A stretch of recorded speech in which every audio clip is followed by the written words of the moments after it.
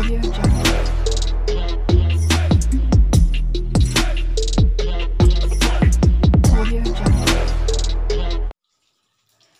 Hello ನಮಸ್ಕಾರ welcome back to my channel ಎಲ್ಲರೂ ಆರಾಮಾಗಿರಿ ಅಂದ್ಕೊಳ್ತಾ ಇವತ್ತಿನ ವ್ಲಾಗ್ನ ನಾನು ಶುರು ಮಾಡತ್ತೀನಿ ಬೆಳಿಗ್ಗೆ ಆರು ಗಂಟೆ ಆಗಿತ್ತು. ನೋಡ್ರಿ ಕಿಚನ್ನು ನಿನ್ನೆ ನಾನು ಇಡ್ಲಿ ಮಾಡಿದ್ನಿ, ಹಂಗೆ ಪಾತ್ರೆ ಎಲ್ಲ ತೊಳೆದು ಎಷ್ಟಾಗ್ತೈತೆ ಅಷ್ಟು ತೊಳೆದು, ಸಂಜೆದು ಮಾತ್ರ ಹಂಗೆ ಇಟ್ಬಿಟ್ಟಿದ್ನಿ. ಸಂಜೆ ತೊಳೆದಿದ್ದು ನೈಟ್ ತೊಳಿಲಿಲ್ಲ ಅಂದ್ರೆ ನೋಡಿರಿ ಕಿಚನ್ ಕ್ಲೀನಿಂಗ್ ಮಾಡಲಿಲ್ಲ ಅಂದರೆ ಯಾವ ಅವಸ್ಥೆ ಇರ್ತೈತೆ ಅಂಥೇಳಿ ಹೆಚ್ಚಾಗಿ ನಾನು ನೈಟೇ ನಾನು ಕ್ಲೀನ್ ಮಾಡಿ ಆದಷ್ಟು ಮಲ್ಕೊಳಕ್ಕೆ ಟ್ರೈ ಮಾಡ್ತೀನಿ ಬಟ್ ಏನಾಗ್ತೈತಿ ಒಂದೊಂದು ಸರಿ ಬೇಸರ ಆಗಿಬಿಡ್ತೈತಿ. ಏನಾದರೂ ಎಕ್ಸ್ಟ್ರಾ ಕೆಲಸ ಈಗ ಹೋಮ್ವರ್ಕು ಅದು ಇದು ಮಾಡಿಸೋದಿದ್ರೆ ನನಗೆ ಎಕ್ಸ್ಟ್ರಾ ಟೈಮ್ ಸಿಗೋದಿಲ್ಲ. ಊಟ ಎಲ್ಲ ಆದಮೇಲೆ ಅಂತೂ ಏನೂ ಮಾಡೋಕ್ಕೆ ಇದಾಗೋದಿಲ್ಲ. ಹ್ಮ್, ಒಂಥರ ಟಯರ್ಡ್ ಆದಂಗೆ ಆಗಿಬಿಡ್ತೇನೆ. ಸೊ ನಿನ್ನೆ ನಾನು ಪಾತ್ರೆ ಅಂತೂ ನೈಟ್ ಊಟ ಆದಮೇಲೆ ತೊಳೆದಿರಲಿಲ್ಲ. ಹಾಗಾಗಿ ಸ್ವಲ್ಪ ಪಾತ್ರೆ ಉಳಿದಿತ್ತು ಮತ್ತು ಕಿಚನ್ ಕ್ಲೀನಿಂಗು ಮಾಡೋಕ್ಕೆ ಆಗಿರಲಿಲ್ಲ. ಸೊ ನೋಡ್ರಿ ಚಿಂಟೂನು ಎದ್ದ ನನ್ನ ಜೊತೆ, ಓಡಾಡತ್ತಾನೆ ಎದ್ದು. ಫಸ್ಟ್ ಒಂಚೂರೆಲ್ಲ ಕ್ಲೀನಿಂಗ್ ಮಾಡಿಕೊಂಡು ನಾನು ತಿಂಡಿಗೆ ಮಾಡೋಕ್ಕೆ ರೆಡಿ ಮಾಡ್ತೇನೆ. ತಿಂಡಿಗೆ ಇವತ್ತು ನಾನು ಗೋಧಿ ಹಿಟ್ಟಿನ ದಿಢೀರ್ ಪಡ್ ಮಾಡತ್ತೇನೆ. ಚಿಂಟುಗೆ ಸ್ಕೂಲಿಗೆ ಬೇರೆ ಮಾಡತ್ತೇನೆ. ಯಾಕಂದ್ರೆ ಅದು ಪಡ್ ಆರಿದ್ಮೇಲೆ ಅಷ್ಟೊಂದು ಟೇಸ್ಟ್ ಹತ್ತಂಗಿಲ್ಲ. ಹಾಗಾಗಿ ಜಸ್ಟ್ ಬಿಸಿ ಬಿಸಿಯಾಗಿರೋ ಪಡ್ಡು ಪಡ್ ತಿನ್ಕೊಂಡು ಹೋಗ್ತಾನೆ ಅಷ್ಟೆ. ಹೆಚ್ಚಾಗಿ ನಾನು ದೋಸೆ ಮತ್ತು ಪಡ್ಡು ಈ ಥರ ಎಲ್ಲ ನಾನು ಲಂಚಿಗೆ ಕೊಟ್ಟು ಕಳಿಸೋದಿಲ್ಲ. ಲಂಚ್ಗೆ ನಾನು ಸಪ್ರೇಟಾಗೆ ಮಾಡಿಕೊಟ್ಟು ಕಳಿಸಿರ್ತೇನೆ. ರೈಸ್ ಐಟಮ್ಸ್ ಏನಾದರೂ, ಈ ಥರ ಪುಳಿಯೋಗರೆ, ಚಿತ್ರಾನ್ನ ಆ ಥರ ಲಂಚಿಗೆ ಕೊಟ್ಟು ಕಳಿಸಿರ್ತೇನೆ. ಉಳಿದಿರೋ ಪಲಾವ್ ಆಗಲಿ, ಇನ್ನೇನೋ ರೈಸ್ ಐಟಮ್ಸ್ ಇದ್ರೂ ಲಂಚಿಗೆ ಕೊಟ್ಟು ಕಳಿಸಿರ್ತೇನೆ. ಸ್ಪೂನಿಂದ ತಿನ್ನೋ ಥರ ಇರಬೇಕು. ಚಪಾತಿ ಎಲ್ಲ ಮಾಡಿಕೊಟ್ರೆ ಅವ್ನು ಸರಿಯಾಗಿ ತಿನ್ನೋದಿಲ್ಲ ಸ್ಕೂಲಲ್ಲಿ ಅದಾದಮೇಲೆ ನೋಡ್ರಿ, ಬೆಳಗ್ಗೆ ಎದ್ದ ತಕ್ಷಣ ಒಂದು ರೌಂಡ್ ನಾನು ಈ ಸೈಡ್ ಬಂದಿರ್ತೇನೆ ಪಾಟ್ ಹತ್ರ. ಯಾವ ಗಿಡ, ಹೂ ಬಿಟ್ಟತಿ, ಏನು ಅಂತ ಹಂಗೆ ಒಂದು ರೌಂಡ್ ನೋಡ್ಕೊಂಡು ಹೋದಾಗ ಮನಸ್ಸಿಗೆ ಸಮಾಧಾನ ನನಗೆ. ಈ ದಾಸವಾಳ ದೊಡ್ಡ ಆಗತ್ತವು, ಅಂದ್ರೆ ಹೈಟ್ ಆಗತ್ತವು, ಆದರೆ ಇನ್ನೂ ಹೂ ಬಿಟ್ಟಿಲ್ಲ ಯಾಕೋ. ನಾನು ವೇಟ್ ಮಾಡತ್ತೀನಿ, ಯಾವಾಗ ಬಿಡ್ತಾವೋ ಏನೋ. ಅದಾದಮೇಲೆ ಈ ಗಿಡ ಮಾತ್ರ ಬಿಡಾತತಿ, ನೋಡೋಕೆ ಇಷ್ಟು ಚಿಕ್ಕದಿದ್ರೂ ಮೊಗ್ಗು ಬಿಡಾತತಿ ಇದು ದಾಸವಾಳ ಗಿಡ. ಅದ್ರ ಜೊತೆ ಮಲ್ಲಿಗೆ ಹೂ ಬಿಟ್ಟತ್ ನೋಡ್ರಿ. ಈ ಪಾಟ್ ಕಿಟಕಿ ಹತ್ರನೇ ಐತಿ. ಕಿಟಕಿ ಪಕ್ಕದೊಳಗನೆ ಇರೋದ್ರಿಂದ ಇದ್ರ ವಾಸನೆ ನಮ್ಗೆ ಆ ಸೈಡ್ ಓಡಾಡ್ಬೇಕಾದ್ರೆ ಬರ್ತಿರ್ತೈತೆ. ನಾವು ಅಡುಗೆ ಮನೆ ಸೈಡ್ ಓಡಾಡ್ತಿರ್ತಾನಲ್ಲ, ಅಲ್ಲಿ ವಾಸನೆ ಬರ್ತಿರ್ತೈತಿ ಇದ್ರದ್ದು ಮಲ್ಲಿಗೆ ಹೂವಿಂದು. ಕಾಂಪೌಂಡ್ ಪಕ್ಕದಲ್ಲೇ ಇರೋದ್ರಿಂದ ಅಷ್ಟು ವಾಸನೆ ಬರ್ತೈತೆ ಮಲ್ಲಿಗೆ ಹೂವು. ಹೆಚ್ಚು ಕಮ್ಮಿ ಎರಡು ವಾರ ಆಯಿತು. ಬಿಸಿಲು ಮುಖಾನೇ ನೋಡಿಲ್ಲ. ಅಷ್ಟು ಮಳೆ, ಇವತ್ತು ಕೂಡ ಅದೇ ಥರ ಐತಿ. ಮಳೆ ಬರೋ ಥರ ಸದ್ಯದೊಳಗೆ ಇನ್ನೊಂದು ಸ್ವಲ್ಪ ಪಾಟ್ಸ್ ತರಬೇಕಂತ ಅಂದ್ಕೊಂಡೀನಿ ನನಗೆ ಗಿಡಗಳು ಹುಚ್ಚು ಭಾಳ ಅಂದ್ರೆ ಭಾಳ ಐತಿ. ರೋಸು ಮತ್ತು ದಾಸವಾಳ ಹಾಕಬೇಕು ಅಂತ ಅಂದ್ಕೊಂಡೇನಿ ಈಗ ಸುರಿತಿರೋ ಮಳೆಗೆ ಬಟ್ಟೆನೂ ಒಣಗ್ತಾ ಇಲ್ಲ. ಅಷ್ಟೊಂದು ಮಳೆ. ಬಟ್ಟೆ ಎಲ್ಲ ನಾನು ಮೇಲ್ಗಡೆ ಫ್ಲೋರ್ ಒಳಗೆ ಹಾಕೀನಿ ಯಶಸ್ ಮೇಲೆ. ಅಷ್ಟು ಮಳೆ ಸುರಿಯತೈತಿ. ಬಿಸಿಲು ಮುಖಾನ ನೋಡಿಲ್ಲ. ಈಗ ತಿಂಡಿ ಮಾಡ್ಕೊಳತ್ತೇನೆ ನೋಡ್ರಿ. ತಿಂಡಿಗೆ ನಾನು ಒಂದು ಗ್ಲಾಸ್ ಗೋಧಿ ಹಿಟ್ಟು ಹಾಕತ್ತೇನೆ ಗೋಧಿ ಹಿಟ್ಟಿನ ಪಡ್ಡಿಗೆ ಅರ್ಧ ಗ್ಲಾಸು ಮೀಡಿಯಮ್ ರವೆ, ಅದಾದಮೇಲೆ ಅರ್ಧ ಗ್ಲಾಸು ಮೊಸರು ಹಾಕ್ಕೊಳತ್ತೇನೆ ನಾನು. ನೆಕ್ಸ್ಟು ರುಚಿಗೆ ತಕ್ಕಷ್ಟು ಉಪ್ಪು.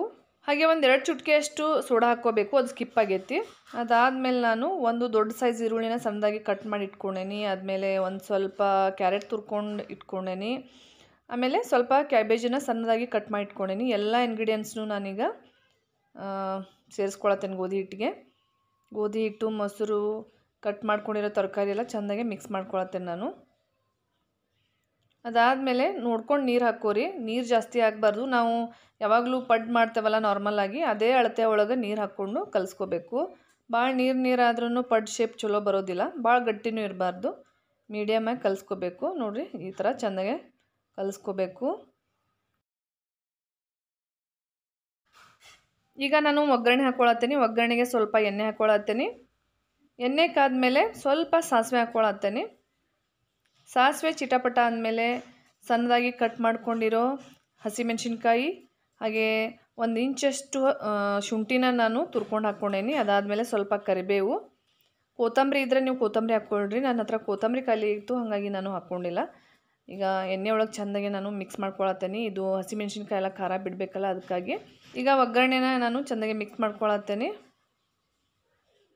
ಇದನ್ನು ನೆನೆಸಿಡೋ ಅವಶ್ಯಕತೆ ಏನಿಲ್ಲ. ದಿಢೀರಾಗಿ ನಾವು ಮಾಡ್ಕೊಳ್ಳೋದ್ರಿಂದ ಇದಕ್ಕೆ ದಿಢೀರ್ ಪಡ್ಡು ಅಂತ ಅನ್ನೋದು. ಹಿಟ್ಟು ಸ್ವಲ್ಪ ಗಟ್ಟಿ ಅನಿಸ್ತಾ ಇತ್ತು. ಸ್ವಲ್ಪ ನೀರು ಹಾಕ್ಕೊಂಡೆ ನಾನು.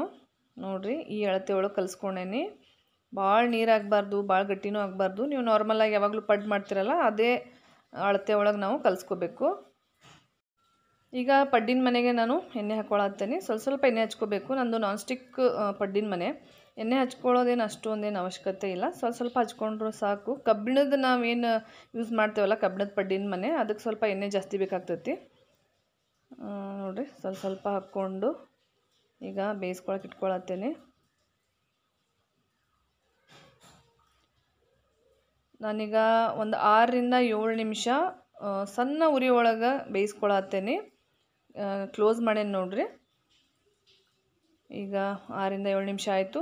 ತುಂಬ ಜೋರು ಉರಿ ಆದರೆ ಹೊತ್ತು ಬಿಡ್ತಾವೆ ಸೆಂಟ್ರೊಳಗಿನೂ ನಾನು ಫಸ್ಟು ತಿರುಗಿಸಿ ಹಾಕ ಹಾಕ್ಕೊಳತ್ತೇನೆ ಯಾಕಂದ್ರೆ ಬೇಗ ಹೊತ್ತು ಬಿಡ್ತಾವೆ ಉರಿ ಅಲ್ಲೇ ಇರ್ತೈತಲ್ಲ, ಹಾಗಾಗಿ. ನೋಡಿರಿ ಕಲರ್ ಎಷ್ಟು ಚಂದ ಬಂದಾವೆ, ನಿಮ್ಗೆ ಗೊತ್ತಾಗ್ತಾ ಇರ್ಬೋದು.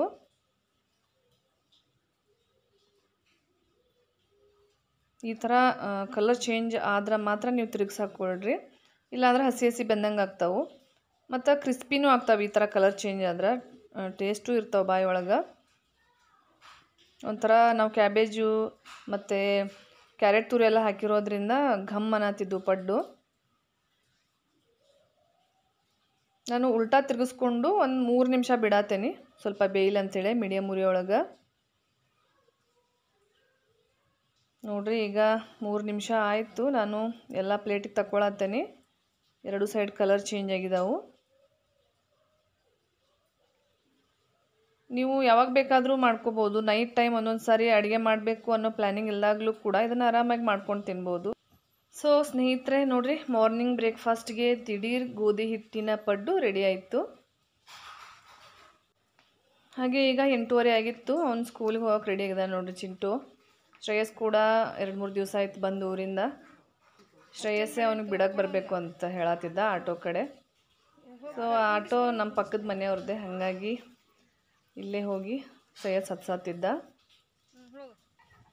ಮಳೆ ಅಂತೂ ಫುಲ್ ಬರತ್ತಿತ್ತು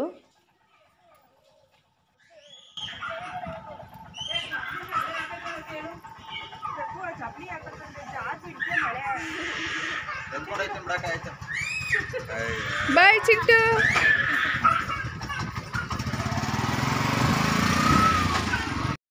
ಸೊ ಸ್ನೇಹಿತರೆ, ಈಗ ಹತ್ತುವರೆ ಆಗೈತಿ, ನಾನು ಕೂಡ ಈಗ ಸಿಟಿಗೆ ಹೊಂಟೇನಿ, ಕೆಲಸ ಇತ್ತು.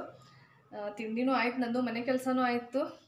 ಇನ್ನೇನಿಲ್ಲ, ಬಂದು ಸ್ವಲ್ಪ ಅಡುಗೆ ಮಾಡಬೇಕು. ಚಪಾತಿ ಹಿಟ್ಟು ಕಲಸಿಟ್ಟೇನಿ. ಚಪಾತಿ ಮಾಡ್ಬೇಕು ಬಂದ.